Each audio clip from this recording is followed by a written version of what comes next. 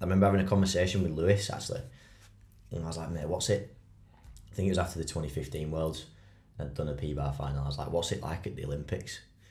And like, what's, you know, you'd done two, got two medals at, in each. Yeah. And he said to me, like, long story short, he just said, Nile, I promise you, nothing will ever prepare you for an Olympic final. Yeah. Like, nothing. And in my head, I was like, well, surely I've just done a world final, Yeah. which is with the same people, the same scale, like in terms of the arena, etc. And so I was like, well, whatever, but I don't know if I agree.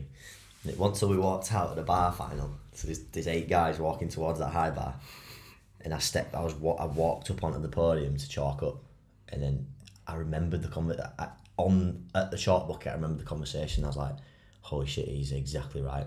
Like nothing in the world could have prepared me for this. The way I felt.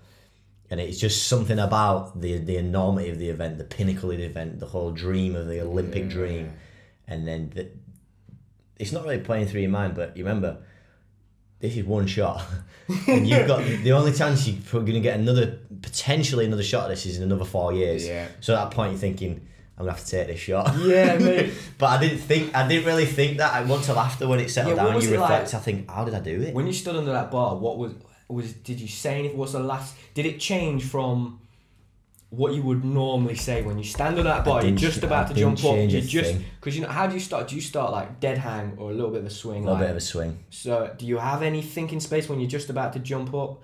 Is it like, come on, fuck, Yeah, like every- yeah, this? or is it like?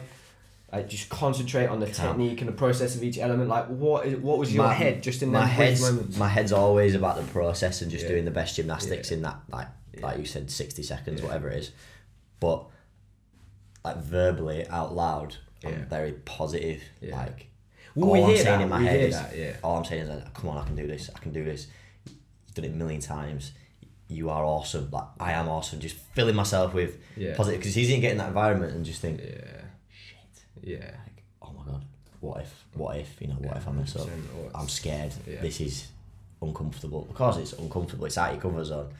But like, the more you can then, I believe, positive, you know, self like your thoughts, they drive your feelings, Yeah. and then they drive Yeah, yeah. essentially your performance at the end of the day. So my thoughts are like, I'm gonna fucking smash this. I'm gonna smash it. as much as it's like horrific, like horrifically uncomfortable. It is, but But it's like an excitement, sort of comfortable. Any and anyway, I don't know if it's the same with you.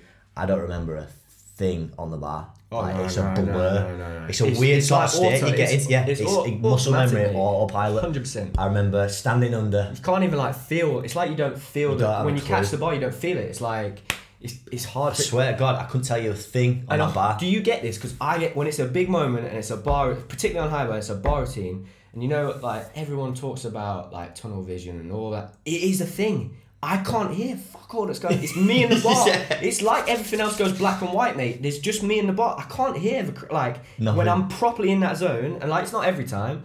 You know, like last week, like if we're competing like London Open, like I notice things and I hit, but when I'm like properly, when you've trained six months, you're in peak condition Yeah. you've like done that routine like so many times. When you're in that zone, it's just me in that bar, man. It's just me in that bar, and like It's special. And It's you're, special, you're, I think you're like this hundred percent. But like in those big, big moments, right when I hundred percent when I have to do it, like people talk about me and my consistency a lot of time. But when I when you prepared me, I'm ready. I've done six months preparation, and in that moment, I back myself hundred percent every single time. I back myself every single time. That's what that's the state you Yeah. need to be in, don't you?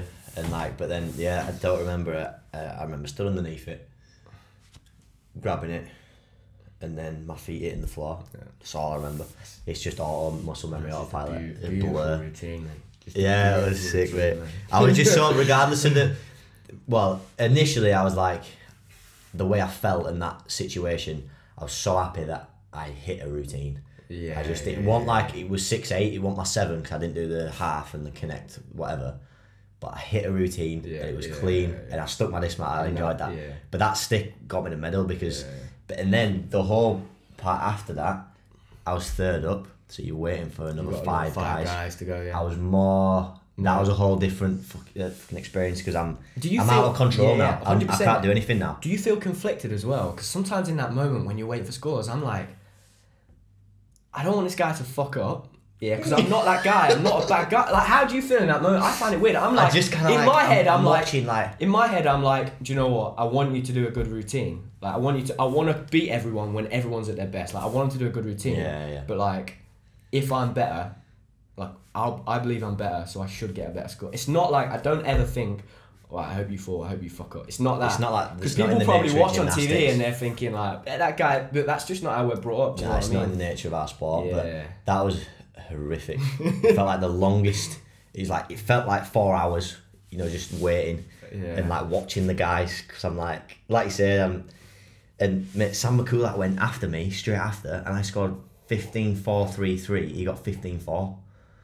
So I'm Yeah, like, it was a oh good- that was a oh good routine, was- that. it was- He- he I thought he'd done it. I routine. thought like he's got a 15 5. Did he stick his disc? I don't He, think he didn't stick it. That was it, mate. It was the stick. So he took a hot Gymnastics, mate. 15 4, 0.033.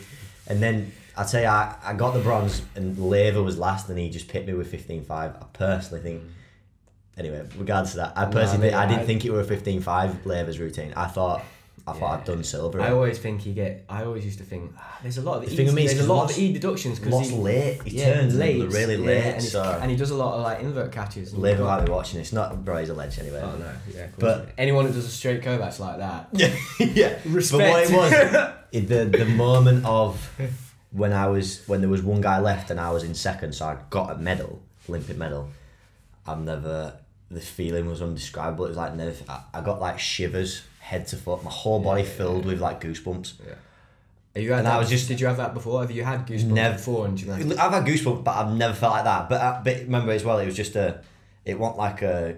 I'd done a routine and nailed it. That feeling, it was because I'm just sat on the chair. Yeah. and some a, a number pops up on Yeah, a screen and yeah. I'm sat there and how my body could have felt like that I have no idea but and then I start I felt a bit sick I was like I wanted to cry I couldn't I couldn't I couldn't believe what had just happened. I was like Yeah. and then yeah mate, it was just time. And then when I got the medal I looked at my family and I couldn't hold the tears in. It was just one of those that's when you realise how much it means to you and how much work you has gone into that. Yeah